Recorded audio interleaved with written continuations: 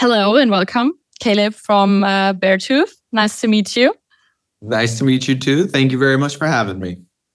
Uh, where are you right now?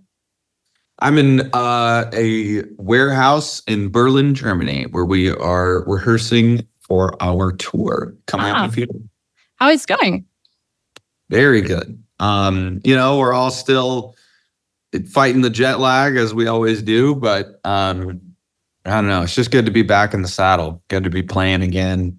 Uh, this is just one of my absolute favorite things to do in the world. So to be able to just make loud noise with my friends makes me very happy. So I'm feeling pretty good. Yeah, the first show is uh, in two days, right? Mm-hmm. In in Berlin, right? Mm-hmm. Ah, nice. Okay, so um, Germany. What are you expecting here? my goodness. I mean, it's no secret that Germany is Beartooth's favorite place to play shows, at least crowd wise. I mean, we've been pretty open about that for many years now. Uh, and that's not for no reason. Uh, the Germany is it's something else. It's almost indescribable how supportive and energetic and excited the crowds are. Um, it just is a I don't know. It feels like some sort of spiritual experience. It's truly crazy. So um, I have no idea what to expect. I never do, but I I have a feeling they'll be pretty wild. Yeah, because many shows are sold out. Um, do you have special plans for for the show? For the shows? We do. I mean, you know, we we put a lot of time into the set list. Um, you know, thankfully, with things going well, we're doing two nights at a lot of venues, and we have two different um, shows that we're doing, two different set lists, which is new for us, which is very exciting because, um, you know, as we've kind of grown as a band, we've had to figure out the right amount of length for a Beartooth show because it is just nonstop pummeling you in the face with energy. Yeah. So, you know, if we're up there for two hours, it gets a little, gets to be a little much. So, um, you know, too much to nice both shows or uh, it's nice to be able to do two different shows that are going to be uh, you know different and we get to play a lot of different songs but still it's I don't know. I, I just can't wait. They're my favorite Beartooth set lists and shows in general that we've ever done as a band, and we're very happy about it. And looking forward to a special song to play on stage this tour. I mean, definitely. You know, I've more than anything, I'm excited to play our latest single, Attention. Uh, this is the first time that we've ever played it as a band. Um, I mean, you know, it just came out a couple weeks ago. But we literally played it yesterday for the first time like all together. I mean obviously we all re- you know practice it at home a million times by ourselves but then to finally get together and play it it just felt really good. So uh, i cannot wait to play that live. It's going to be very exciting yeah, how did it come that you uh, added that song to the uh, deluxe version of the Surface? And why just one song? Where's the other 55 songs? well, that's that was actually a very intentional thing. So, you know, usually with deluxes, you get obviously there's your live versions and your alternate versions and things, which we which we have. But then usually you just get the B sides, which are the junk songs that weren't good enough to be on the album. And you know, when I was thinking about it and talking with kind of the label about it, I had a pretty strong opinion that I don't want to do that. Like there's a reason those songs didn't go on the record. It's because they just weren't good enough. Period. They didn't meet the criteria in my mind and through my filter. So what I said is give me time and let me make an entire new real single that is current and that is about what's going on in my life right now because really that's what a Beartooth song truly is is me talking about what's going on right at that moment in time and, and capturing that through a song. So I kind of disappeared and I, I spent a long time making this song and, and working on it. And there's a lot of love and there's a lot of deeper meaning to this song. And, you know, there's so much history involved in it. And um, yeah, it it was more important for me to put all of my energy into a song that I really care about and that I feel like is worth people's time than to just give them the bullshit.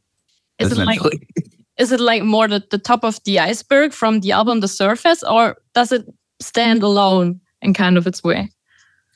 Uh, it really is like the finishing of the surface. It, it's meant to signify the ending of that period of time um, in my life and and that album as a whole. You know, that album campaign started with the song Riptide as a standalone single, you know, two years ago or two and a half years ago, a long time now. And that song was a big statement. It was a big showing of the fact that I am personally going through a lot of changes as a human being and as a musician and as as a songwriter and as a performer and all of that. And um, attention is kind of really signifying that I am just content with where I'm at in my choices and in my life, and um, that I'm I'm just ready for what is next.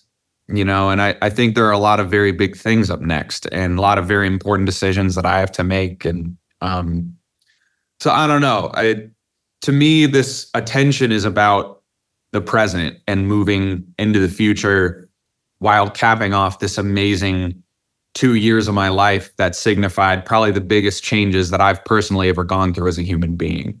And um, yeah, so that was kind of like the whole the reason that I wanted to do something new and, and spend time on it to kind of put a bow on the surface, you know. Okay, when when when the song is the bow of that whole the surface area, I just call it like that. Um, mm. What do you tell the people what's coming next? Because there were also fans who really were not into the surface and that happy thing and more loved the heavy songs from below and such on. Um, is there something coming from the past right now to the future, or what's the plan? I have no idea, to be completely honest with you. Um, I mean,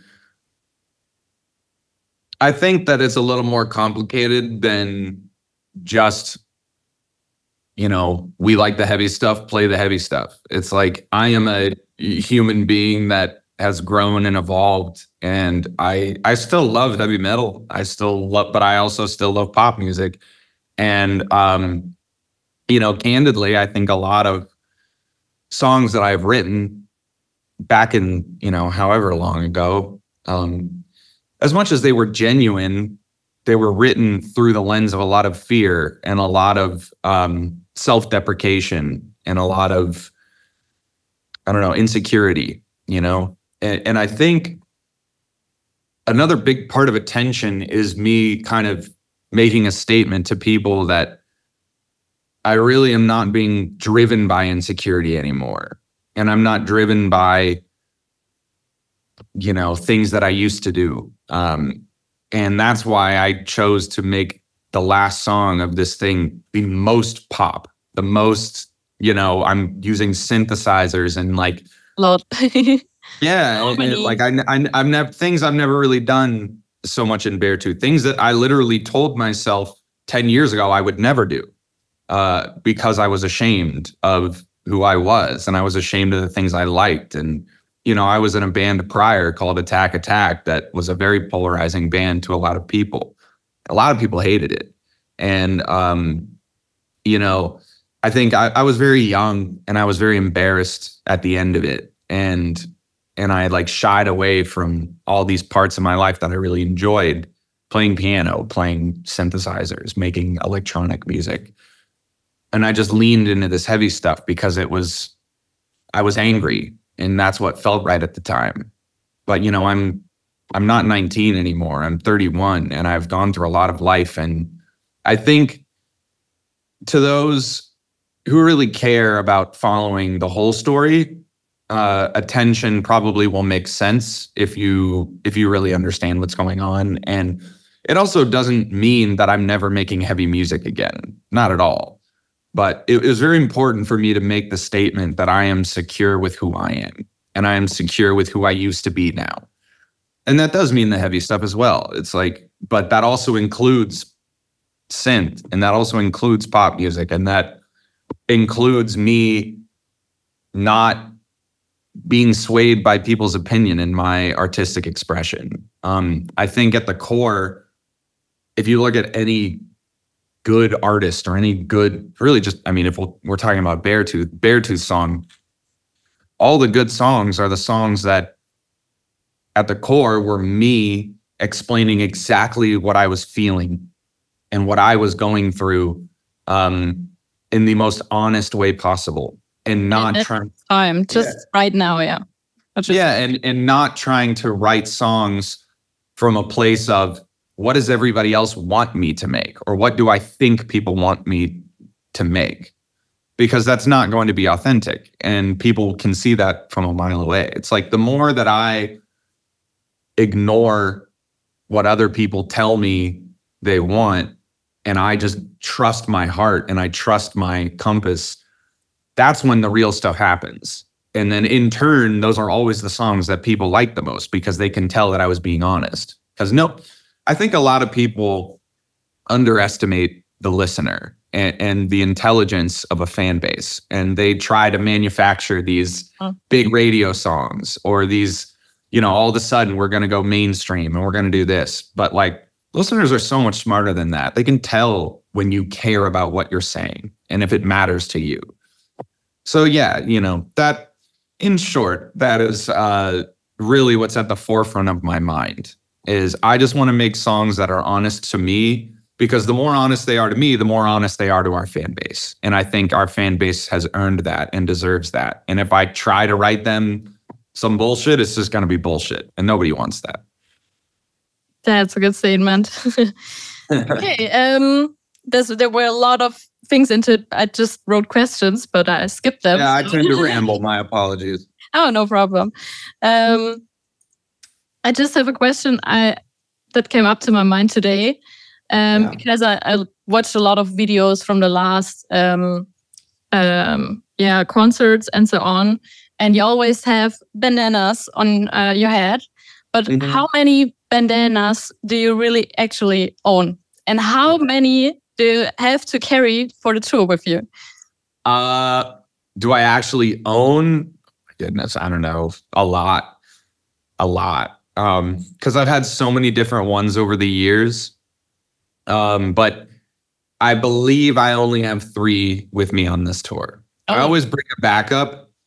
Uh, but I usually for every tour, there's one specific one that I wear for the whole tour and, and that changes tour to tour, but I usually try to wear the same one every show.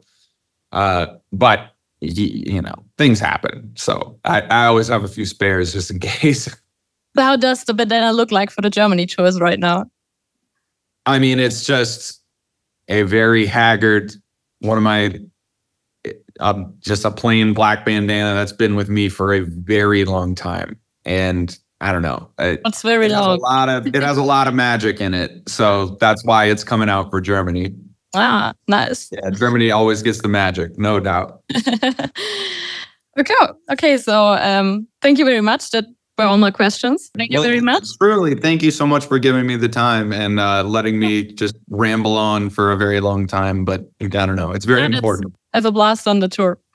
Thank you very much. I really appreciate the time. Have a nice day. Bye bye.